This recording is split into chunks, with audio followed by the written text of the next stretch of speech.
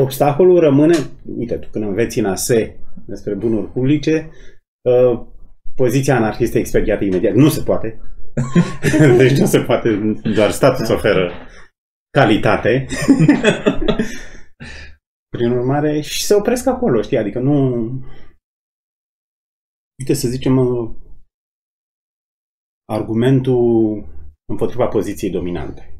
Care e? Că ăla își falimentează pe aia mici, pe aia crește prețul. Da. Și profesorul din ASE se oprește acolo, nu mai da. continuă. Da, asta Libertarianul e... zice, păi stai că dacă îți crește prețul, reintră ei eliminați. Pentru că ei erau eliminați. E un, alfa, un analfabetism economic da, dar cras. Nu, nu mai face pasul ăsta. Responsabilitatea este până la urmă a oamenilor care cer lucruri.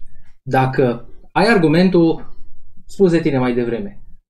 După, la un moment dat, o agenție privată reușește să uh, le acapareze pe celelalte, se reinstaurează ca putere de monopol pe un teritoriu și nu mai permite altora să intre, chiar dacă prețul devine mirobolant.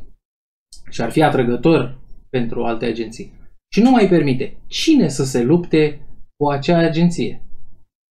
Ca și astăzi, cine să se lupte cu statul? Cetățenii trebuie să nu recunoască legitimitatea acestor agresori. E, problema, problema, în sine, problema în sine apare de la în momentul ăla în care el vrea să instituie monopol. În el vrea uh-huh. să nu mai permită. În primul rând, cum ar putea să nu mai permită accesul pe piață? Da? Cum vine, vine și ce face? Îi cumpără? Nu, asta nu ține, așa sunt distruse toate monopole. Deci ăsta e argumentul ăla de bă, analfabetism economic, uh-huh. da? Restul lumea spune, nu că monopolul își permite să cumpere pe toată lumea, domne, cum vine? Păi da, ok, hai să, hai să luăm argumente să-l ducem până la capăt.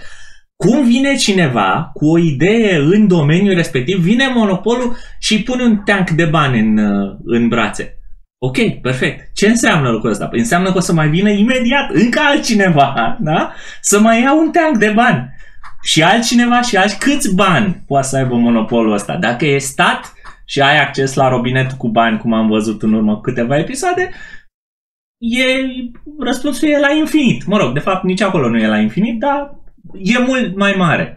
De când o companie care trebuie să-și facă banii din piață nu și-ar putea permite în vecii vecilor o asemenea strategie pentru că ar duce direct la faliment, mai repede decât dacă, nu, dacă ar permite concurență. Chiar și dacă aș permite, chiar dacă, uite că vorbeam de agenția de protecție, de agenția aia dominantă, știi, mhm, monopolistă. Uh-huh, uh-huh.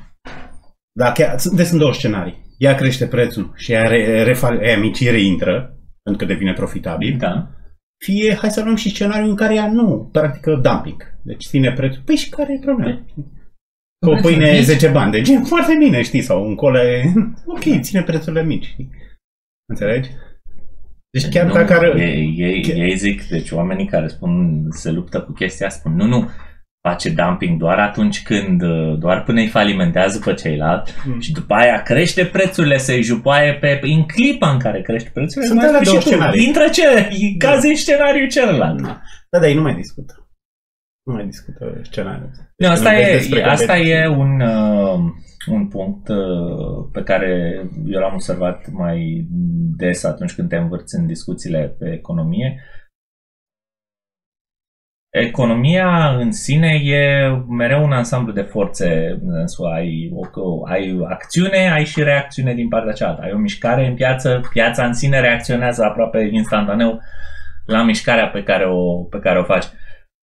Și uh, lumea nu e obișnuită să, să privească o situație dinamică de genul ăsta. Pur și simplu nu, nu știu dacă e un, un uh, rateu al învățământului de stat că nu, yes, yes. Că nu sunt nu uh, nici ei, că nu sunt în stare uh, nu, nu dar lumea în general nu e obișnuită să, să gestioneze deci omul de unde învață să gestioneze deci dacă apare situații. la Digi nu știu cine care nu vede aceste mutări se oprește fix la ăla care a făcut dumping și nu știu ce, sau monopolistul care după aia a urcat prețurile și lumea, câte mă are la aia? Pe, nu știu, 5.000 de euro, 2.